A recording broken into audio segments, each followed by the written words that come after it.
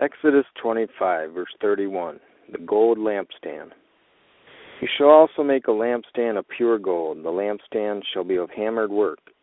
Its shaft, its branches, its bowls, its ornamental knobs, and flowers shall be of one piece. And six branches shall come out of its sides.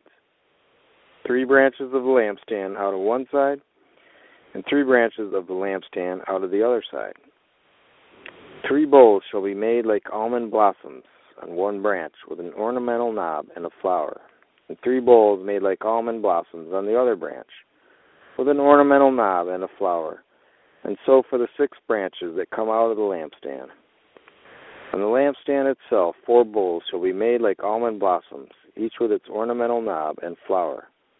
And there shall be a knob under the first two branches of the same a knob under the second two branches of the same, and a knob under the third branches of the same, according to the six branches that extend from the lampstand. Their knobs and their branches shall be of one piece. All of it shall be one hammered piece of pure gold. You shall make seven lamps for it, and they shall arrange its lamps so that they give light in front of it. And its wick trimmers and their trays shall be of pure gold.